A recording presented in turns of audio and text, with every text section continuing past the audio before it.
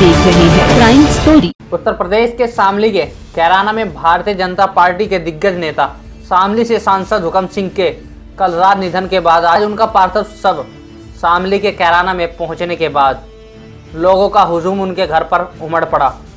CM योगी प्रदेश के मुख्यमंत्री सुरेश राणा के साथ हुकम सिंह के आवास पर उनके अंतिम दर्शन करने को पहुँचे। सीएम ने सांसद के फार्म के अंदर बने कमरे में पहुंचकर सांसद हुकम सिंह को श्रद्धांजलि दी। इस दौरान कैबिनेट मंत्री सतीश महाना, राज्य मंत्री सुरेश राणा, सांसद संजीव बालियान, विधायक जितेंद्र निर्वाल, भाजपा जिला अध्यक्ष पवन तरार भी सीएम के साथ मौजूद रहे।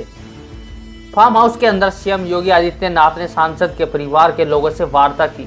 क्राइम स्टोरी के लिए उत्तर प्रदेश के शामली से संवाददाता फुरकान जंग की रिपोर्ट। मैं तो एक बात कहूँगा कि पश्चिम उत्तर प्रदेश में शायद उनके कद का कोई नेता मुझे तो दिखाई नहीं देता। जो जनता का सम्मान जनता की नज़रों में सम्मान बाबू हुकम सिंह का था, मैंने किसी दूसरे नेता का विशेष बात तो यही है कि पिछले दिनों शायद ये पिछले सत्र की बात है और ऊन और एक दो शुगर मिल का पेमेंट शामली जनपद में नहीं हुआ था तो बाबूजी खड़े हुए, बल्कि विपक्षी सदस्यों ने कहा भी कि भाई आपकी सरकार है तो उन्होंने कहा, नहीं, मेरा हक है कि मैं अपने किसान की बात संसद में रख सकूँ।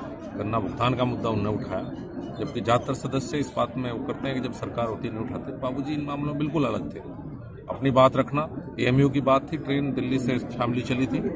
उन्हें हरी झंडी दिखाई, नहीं चल पाई।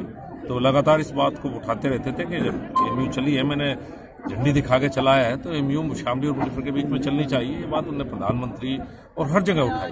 तो कभी मुद्दे उठाने से पीछे नहीं हटते थे।